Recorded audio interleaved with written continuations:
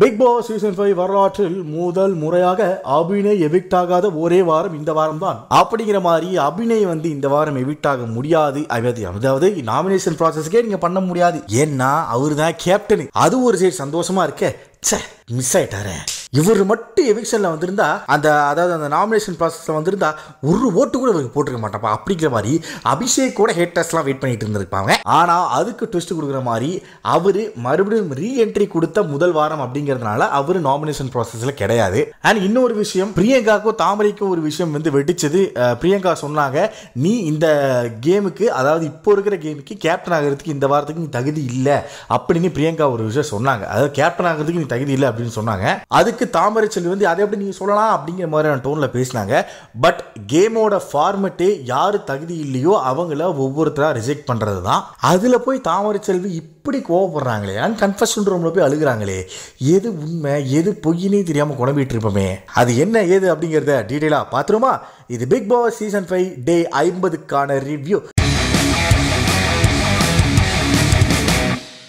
வெற்றிகரமா பாதி கடலை தாண்டியாச்சு. இன்னும் கொஞ்சம் மீதி கடல் தான். ஸோ வேக்கப் டா ஸோ வேக்கப் சாங் முடிச்சதுக்கு அப்புறமே வந்து டேரெக்டாக அந்த டாஸ்க் தான். அந்த கேப்டன் ஆகக்கூடிய அந்த டாஸ்க் தான். ஸோ இந்த வாரம் கேப்டனுக்கு உண்டான ஆறு நபர்கள் யாருன்னா அபிநய் வருண் அக்ஷரா இமானனாச்சி தாமரை ராஜு. பிகாஸ் இவங்களுக்கெல்லாம் போன வாரமே ஒரு டாஸ்க் கொடுத்து அவங்க பெஸ்ட்டாக பண்ணாங்க அப்படின்னு அடுத்த வாரத்துக்கு அமுச்சு விட்டாங்கல்ல அதனால இந்த ஆறு பேர் அது என்ன டாஸ்க்னா குறிப்பிட்ட ஒரு இடத்துல வந்து இந்த பஞ்செலாம் அடுக்கி வச்சுருப்போம். ஒவ்வொருத்தருக்கும் ஒரு டப்பா கொடுத்துருப்போம்.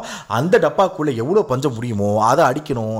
அதை அடுக்கி வச்சுட்டு அதை உள்ளே போட்டு அமுக்கணும் அமுக்கி வச்சுட்டு வெயிட் பார்க்கணும். ஆறு பேர் இருக்கீங்களே ஸோ கடைசி ரெண்டு ரெண்டு இடமா யார் வரீங்களோ அந்த ரெண்டு ரெண்டு பேரும் வந்து ஒரு வட்டம் இருக்கும். அந்த வட்டத்துக்குள்ளே நிற்கணும் அது நின்னதுக்கப்புறம் மற்ற ஹவுஸ்மேட்ஸ்லாம் இருக்குங்க இல்லையா? அந்த போட்டி இல்லாத ஆறு பேர் இல்லாமல் மற்ற ஹவுஸ்மேட்ஸு அவங்க என்ன பண்ணுன்னா இவர் இந்த கேப்டனுக்கு தகுதி இவர் இந்த கேப்டனுக்கு தகுதி இல்லை அப்படின்னு தகுதி இல்லாத நபர் அதாவது உங்களுக்கு என்னென்ன தோணுதோ அந்த ரெண்டு நபர்களை பற்றி சொல்லி ஒரு ஒருத்தராக எலிமினேட் பண்ணும் அப்படிங்கிறது கேமு அந்த விதத்தில் முதல் ரவுண்டு ஆரம்பிச்சது ஆரம்பிச்சதுமே பங்கமாக வெடிச்சது. அதில் என்ன ஆச்சுன்னா முதல் ரவுண்டில் அந்த ஃபஸ்ட்டு ரவுண்டுக்குள்ளே வந்து நின்னது யாருன்னா ரெண்டு பேர். அபிநயன் தாமரை செல்வி இவங்க வந்து பேர் நின்னாங்க. அப்போ வந்து ஒவ்வொருத்தரும் ஒவ்வொருத்தர் கருத்தை வைக்க பிரியங்கா வந்து ஒரு கருத்தை வச்சாங்க. என்னன்னா தாமரை செல்விக்கு ஒரு ப்ராப்ளம் ஆல்ரெடி மைண்டில் ஓடிட்டுருக்கு நிறைய பேர்த்துக்கு கூட பிரச்சனைகள் இருக்கு. நிறைய மனக்கசப்புகள் இருக்கு. ஸோ அதனால அவள் கேப்டன் ஆகி வந்து வந்தான்னா அந்த கசப்போடே வேலை செய்வா. ஸோ அதனால அவள் இந்த வாரம் தகுதி இல்லை. ஸோ வெளியே வந்துடணும் அப்படிங்கிற மாதிரி பிரியங்கா சொல்ல அப்படியே கொலாடி சண்டையாக மாறுச்சு இந்த சண்டை. ஓ அப்போ அப்போ அந்த வார்த்தை வாக்குவாதங்கள் போயிட்டு இருக்கப்போ வந்து பிரியங்கா சொன்னாங்க எம்மா நீ வேற மைண்ட் செட்டில் இருக்க. நீ இப்போ கேப்டனாக வேணாம். ஆனால் உனக்கு ஒரு மாதிரி ஆயிருமா? ஏம்மா சொன்னால் புரிஞ்சுக்க மாட்டேங்கிற. நீ குழம்பி மற்றவங்கள குழம்புனா அது வேற மாதிரி. கேப்டனுங்க குழம்புனாலே வீடே குழம்புன மாதிரி. ஏன் அதை புரிஞ்சுக்க மாட்டேங்கிற? அப்படிங்கிற மாதிரி ஹை பீச்சில் வந்து இவங்க பிரியங்கா கத்த ஏன் அதை நான் மாற்றிக்க மாட்டேனா? நீ சொல்கிற பாயிண்டில் கிறுக்கி கிறுக்கி மாதிரி இருக்குது என்ன இது பேசிகிட்டு இருக்க? என்ன இப்படிலாம் பேசினா அவங்க கூட சாஞ்சிடும் நினைக்கிறேன் உன் பக்கம் இழுக்க பார்க்குறியா? நீ அம்பிடு தான் அப்படிங்கிற மாதிரி பிரியங்கா வந்து சொன்ன பாயிண்ட்லாம் தாமரை செல்வி ஆப்போசிட்டாக கொடுத்துக்கிட்டே இருந்தாங்க. அப்போ வந்து தாமரை செல்விக்கு ஒரு டவுட் வந்தது. என்னன்னா பிரியங்கா இப்போ இவ்வளோ பாயிண்ட் பேசுறீல? அங்கே நேற்று கமல் சார் முன்னாடி கையை கோத்துட்டு இந்த கண்ணாடியாக பேசுகிறப்ப எதுக்கு வந்து அப்படி பேசுனா? இதெல்லாம் அங்கே பேசியிருக்கலாமே. அப்படிங்கிற மாதிரி தாமரை செல்வி கரெக்டான பாயிண்ட்ல எடுத்து வச்சாங்க பிரியங்காக்கு ஆப்போசிட்டாக அப்போ பிரியங்கா சொன்னாங்க அது நான் ஒப்பு சொல்கிற ஒப்பீனியன் கண்ணாடியாக நான் மாதிரி வந்து அவங்கள பற்றி சொல்லணும். ஏம்மா அது வேற இது வேறயா? ரெண்டும் ஒன்று தானாமா பிரியங்கா அப்படிங்கிற மாதிரி தான் இருந்தது. தென் அதுக்கப்புறமா வந்து சரி இந்த கேம் ஃபார்வர்ட் ஆகணும். அப்படிங்கிறதுக்காக தாமரை செல்வியை ரிஜெக்ட் பண்ணுறோம் அப்படின்னு யூ குட் இன் அப்படிங்கிற மாதிரி தாமரை செல்வியை ரிஜெக்ட் பண்ணிட்டாங்க. தென் செகண்ட் ரவுண்ட் ஆரம்பிச்சது ஆரம்பிச்சோன்னே இமானனாச்சி வெசஸ் வரும்னு நின்னாங்க. அப்போ ஒவ்வொருத்தராக சொல்லி முடிக்க அபிஷேக் ஒரு பாயிண்ட் சொன்னாப்ல. என்னன்னா ஃபர்ஸ்ட் ஒரு டைம் சொல்லிட்டாங்க எல்லாருமே. அதுக்கப்புறமே வந்து சுவாரஸ்யம் கரெக்ட் நல்லா இருக்கும். இன்னும் சுவாரஸ்யமாக இருக்கும். அதனால் வந்து நான் வருணை பண்ணுறேன் அப்படின்னு சொல்லிட்டு அபிஷேக் வாயோட இங்கே பாரு தம்பி அதெல்லாம் நீ பேசாத.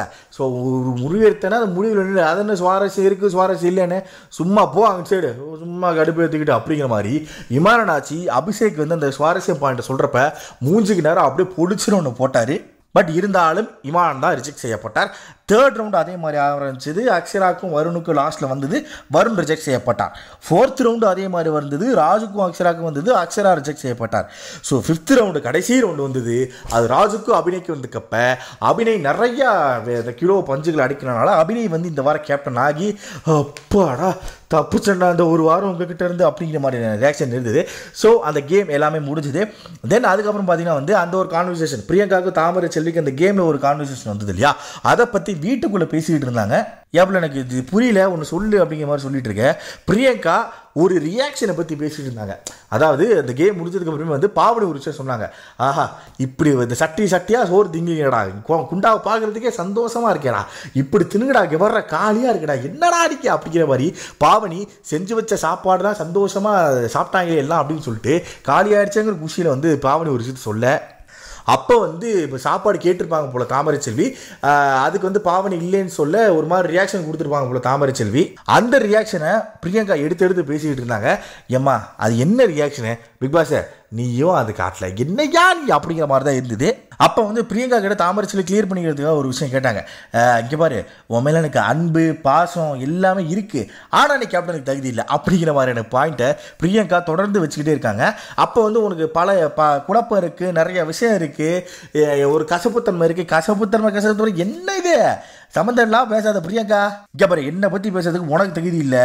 உனக்கு அபி அபி நான் நான் நின்னப்ப என் கூட அபி நின்னாரு. அவரை தான் பிடிக்கும்னா அவரை பிடிக்கும்னு சொல்லு. முட்டாள் மாதிரி நாங்கள் உட்காந்துருக்கேன்ல எதுக்கு தேவையில்லாம் முன்ன போய் பேசிட்டு இருக்க அப்படிங்கிற மாதிரி தாமரை செல்வி வழக்கம் போல வாசை ஏற்றி ஏற்றி பேசிக்கிட்டு இருந்தாங்க. அது என்னம்மா ரியாக்ஷனு ஏப்பா அக்ஷரா நீ தானே உட்காந்துருந்தீங்க வாப்பா. அப்படிங்கிற மாதிரி தாமரை செல்வி அக்ஷராவை கூப்பிட இது என்னது பாவனிட்டு ரியாக்ஷன் காட்டினோம் அவன் என்ன ரியாக்ஷன் அப்படின்னு கேட்க ஐயா அதெல்லாம் ஒன்றும் இல்லை. அவங்க சாப்பாடு இல்லைன்னு சொன்னோன்னே இவங்க திரும்பினாங்க நானும் சும்மா சிரிச்சேன் அவ்வளோதான் அப்படிங்கிற மாதிரி. அக்ஷரா சொல்ல அந்த ஒரு மேட்டருக்கு முடியும்னு நினச்சா மறுபடியும் கேமை பற்றி இழுத்தாங்க தாமரை செல்வி. தகுதி இல்லைன்னு சொல்லிட்டு நீ சொல்லாத அது பிக் பாஸ் சொல்லட்டும் அப்படின்னு சொல்லிட்டு தாமரை சொன்னாங்க. ஆனால் தாமரை செல்வி தகுதி இல்லைன்னு ஹவுஸ்மேட் செலக்ட் பண்ணி தான் வந்து பிக் பாஸ் சொல்லணும். அது ஏன் உங்களுக்கு புரிய மாட்டேங்குது அப்படிங்கிறது தான் எங்களுக்கு புரியல அப்படிங்கிறது தான் ஒரு கேள்விக்குறியாக இருந்தது. இப்படியும் பேசுனீங்க நாம் எடுன்னு பண்ணுறீங்க அப்புறம் இது என்ன சொல்கிறது உட்காந்து அழுகவும் செய்கிறீங்க அப்படிங்கிற மாதிரியான அந்த இந்த வாரம் நாமினேஷனுக்கு உண்டான இந்த எவிக்ஷன் ப்ராசஸ் இருக்கணும் இல்லையா? ஸோ அது நடந்தது. ஸோ அந்த அடிப்படையில் தாமரை செல்வி பிரியங்கா பாவனி ஐக்கிபெரி இமானாச்சி அண்ட் நிருப். ஆஹா நல்லா இருக்கு இப்போ பார்க்கறதுக்கு லிஸ்ட்டு அப்படிங்கிற மாதிரி இவங்களாம் நாமினேட் ஆயிருந்தாங்க. தென் கன்ஃபெஷன் ரூமுக்குள்ள தாமரை செல்வி போகிறப்ப உட்காந்து அழுதுகிட்டு இருந்தாங்க. ஐயா வச்சு செய்கிறாங்க ஐயா என்ன முடியலை ஐயா அப்படிங்கிற மாதிரி புலம்பிட்டு இருக்க. இங்கே பாருமா இது ஒரு கேம் கேமை கேமாக பாரு எல்லாரும் அப்படி தான் பார்க்குறாங்க நீ ஏன் பர்சனலாக எடுத்துக்கிற? அப்படிங்கிற மாதிரி பிக் பாஸ் வந்து அட்வைஸ் சொல்ல அப்படிங்களா? கேமை கேமாக தான் எடுத்துக்கணுங்களா? சரி நான் பிரியங்கா புள்ளியை நாமினேட் பண்ணுறேன் அப்படின்னு தாமரை செல்லி பிரியங்காவை நாமினேட் பண்ணிட்டாங்க. தென் அந்த நாமினேஷன் ப்ராசஸ்லாம் முடிஞ்சிச்சு. முடிஞ்சதுக்கப்புறமா வந்து பிக் பாஸு மறு அந்த எல்லாருமே அந்த லிவிங் ஏரியாவில் உட்கார வச்சிருந்தார். ஐ ஜாலி ஐம்பதாவது நாள் ஏதாவது ஏவி போட போகிறாங்கன்னு இந்த ஐம்பது நாளுக்கு அப்படின்னு சொல்லுவாங்கன்னு பார்த்தா இங்கே பாருங்க ஏவியா பொட்டனிலே விடும் எல்லாத்துக்கும். காலங்காத்தால் வேக்கப் சாங்கை போட்டால் ஒரு வயல ஆடாமல் சும்மா வீம்புக்கே கடம்புக்கே ஆடிட்டு இருக்கீங்க. எல்லாரும் சினிமா துறை கலைத்துறையிலேருந்து வந்திருக்கீங்க. ஏன் ஆட தெரியாதா உங்களுக்கு? அப்படிங்கிற மாதிரி பிக் பாஸ் எல்லாத்தோட மூக்கி உடைக்க அங்கே ஒரு டாஸ்க்கு கொடுத்தாரு. என்னென்னா இங்கே பாருங்க இப்போ ஒரு டான்ஸ் மாரத்தான் நடக்க போகுது. ஒவ்வொரு ஜோடியாக நாங்கள் சொல்கிறோம் அந்த ஜோடிக்கு பாட்டு ப்ளே பண்ண போகிறோம் ப்ளே பண்ணுறப்ப நீங்கள் அந்த பாட்டுக்கு சிங்க் ஆகிற மாதிரி ஆடினீங்கன்னா ஓகே இல்லைன்னா வேறு ஏதாவது சவுண்டு ஒரு சவுண்டு மாதிரி கொடுத்துரும் பார்த்துங்க அப்படி இப்படி பிச்சு போடுவோம் அப்படிங்கிற மாதிரி பிக் பாஸ் வந்து சொல்ல ஒவ்வொரு ஜோடியாக போய் ஆடினாங்க. அது உண்மையாகவே ஃபன்னாக இருந்தது பார்க்கறதுக்கு தென் பிரியங்கா நிரூப் அவங்க ரெண்டு பேரும் வந்து பேர் போல. ஸோ அவங்க ரெண்டு பேரும் ஆடலாம். ஐயா ஜாலின்னு சொல்லிட்டு மேடலை கால் வைக்கிறப்போ கால் வலிக்கு நிரூப் விழுந்துட்டாப்புல. காலில் பிளட்டு வந்தது. ஆஹா குட கொட குடமாக ஊற்றுச்சு அதை பார்த்து பாவனி அழுதுட்டாங்க. இருந்தாலும் ஏப்பா நெட்ட கொக்கே நீ ஆடுறியா மாட்டியாப்பா அப்படின்னு பிக் பாஸ் கேட்க நான் ஆடுறியா குட்ட கொக்கே? அப்படின்னு பிக் பாஸை பார்த்து நிரூப் சொல்ல பிரியங்காவும் நிரூப்பும் ஜாலியாக ஆடிட்டு இருந்தாங்க. ஸோ அதோட எபிசோடையும் முடித்தாங்க ஸோ இன்றைக்கி ஒரு மாதிரி காரசாரமாக பிரியங்கா வர்சஸ் தாமரை செல்வி அப்படிங்கிற மாதிரி தான் இன்னைக்கு எபிசோடு போச்சு. ஸோ நீங்கள் இன்னைக்கு எபிசோடு பற்றி என்ன நினைக்கிறீங்க? அண்ட் தாமரை செல்வி பிரியங்கா இவங்க ரெண்டு பேர் பேசுனதில் யார் பாயிண்ட் கரெக்ட்னு உங்களுக்கு தோன்ற பாயிண்ட்டை கீழே கமெண்ட் பாக்ஸில் கமெண்ட் பண்ணிருங்க. முக்கியமாக லிட்டு டாக்ஸ்க்கு சப்ஸ்கிரைப் பண்ணிருங்க. And don't forget to click the bell icon